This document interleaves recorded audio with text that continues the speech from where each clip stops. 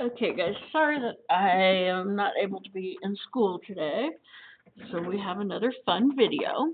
Um, but just pause the video here um, and maybe write all of these down. And all these are the derivatives of um, a number to an exponent. Now, you're going to see that there's u's in here.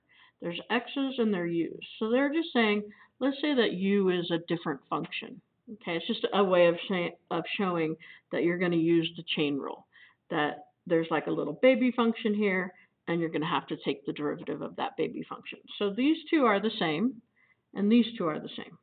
Okay, so take a minute, write those down. Okay, so now let's just look at a bunch of examples. So let's say that we have y equals 3 to the x, and we want the derivative of that. Okay, so this is this type right here. So we're going to go natural log of 3 times a to the x, 3 to the x. And that's it. Okay, let's say we have something like this. Okay, so here we can see there's a little baby function up there, 3 to the x.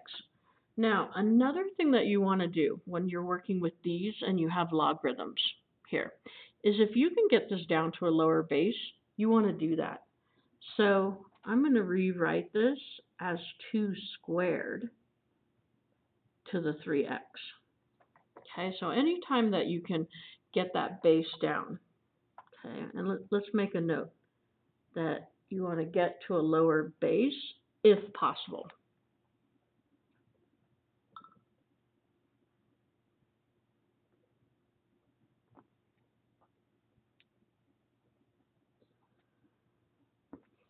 Okay, so then this is now going to become, remember, power to a power, we multiply 2 to the 6x. Okay, so now I'm using this formula right here. So I'm going to do the natural log of a, which is just that base right there. So the natural log of 2 okay, times a to the u, so 2 to the 6x and then du dx, the derivative of that 6x, which is 6. Okay, so I'm just going to move this around. I'm going to put that 6 in the front, and I'm going to put this in the front. And I can clean it up a little bit more if I want. So that, oops, that 2 to the 6x, I could say, well, that's the same thing as that, right? Because I would do power to a power. So this is equivalent to this. 2 to the 6th is 64 to the x. So I've got 6 times 64 to the x times the natural log of 2. Remember, I can't multiply those right there because this one has an exponent on there. Okay, so these are kind of a nice change of pace, I think, from doing those inverse functions. Okay, let's say we have y equals 5 to the x squared. Okay, so we can see we have a little baby function up there. So we're going to go, all right, y prime is the natural log of 5 times 5 to the x squared times the derivative of x squared, 2x. And, oh, I was looking at something else. Okay, so I could leave it like that. I could move it into a different form. Doesn't matter. Okay, so let's say we have something like similar to this. Let's say it looks like that. Okay, so same idea y prime natural log of 5 times 5 to the 3 minus x squared, and then the derivative of that, negative 2x. These don't seem so bad. Okay, let's do one like that, log base 5. Okay, so that's this guy right here. Okay, so 1 over natural log of a times x. 1 over the natural log of 5 times x.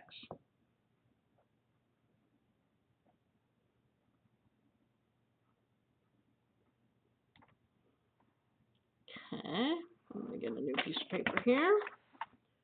Just a, a few more of these guys. And then we'll be good to do some practice.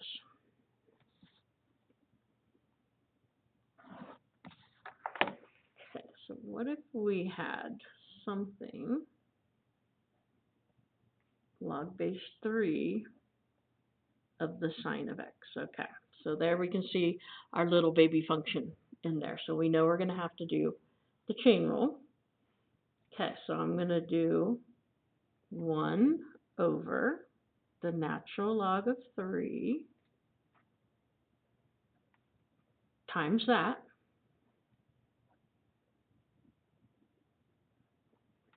times the derivative of sine of x, which is cosine x. Okay, so I could say that y prime is the cosine of x over the natural log of 3 times the sine of x. Okay, so these are kind of nice because we're just sort of following some little rules again. Okay. So remember on something like this, that this is, um, if there's no base, remember it's base 10. And then look, we have one of those exponential ones inside of here.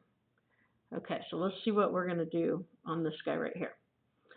So I've got to go y prime 1 over, that's a 10, natural log of 10 times that.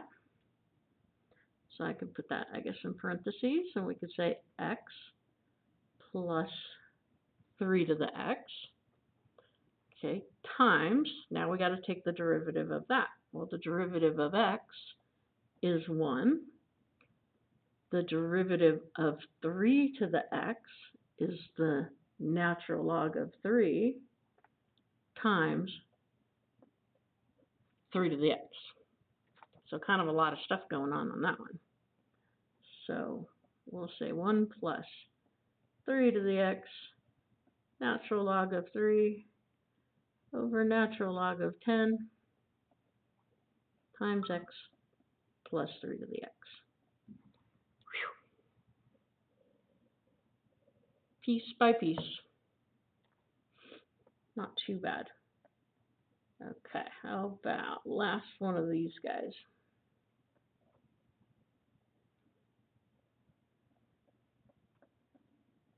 You know, maybe pause the video, see if you can do this one on your own. Okay, so I'm looking at the little baby in there.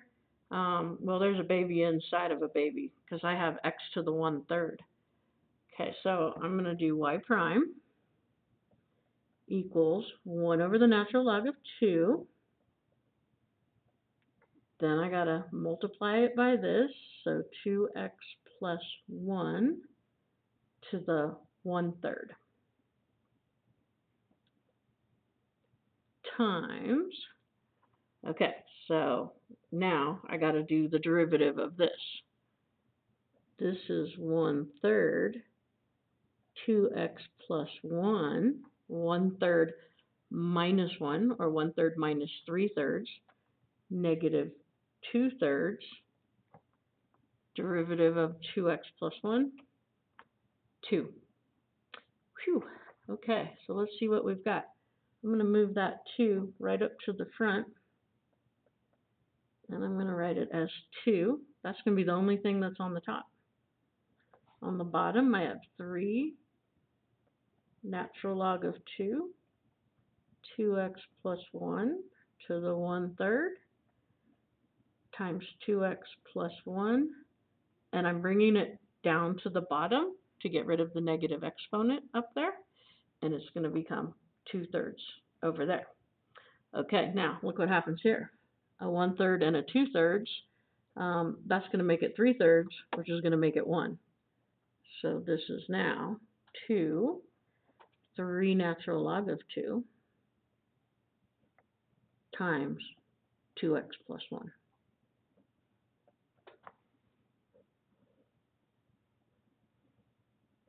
And there we go. Okay.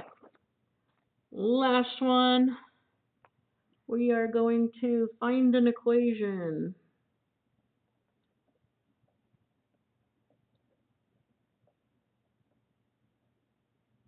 Of the tangent line.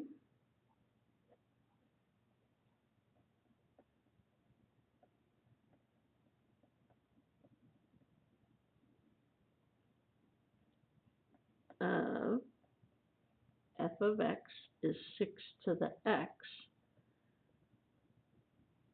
where x equals two. Okay, doesn't matter, equation of the tangent line, we need a point and we need a slope. So we've got the x value, let's get the y value. f of two is six squared is thirty-six. Okay, there's our point. Our slope is gonna be the derivative. So let's find the general der- der- derivative first, six to the x. That is the natural log of six times six to the x. And then we wanna find the derivative at two, which is the natural log of six times six squared, which is thirty-six natural log of six. Okay, tangent line. Y equals the slope, thirty-six, natural log of six, x minus two plus thirty-six. And we got it. Alrighty, hopefully those weren't too bad.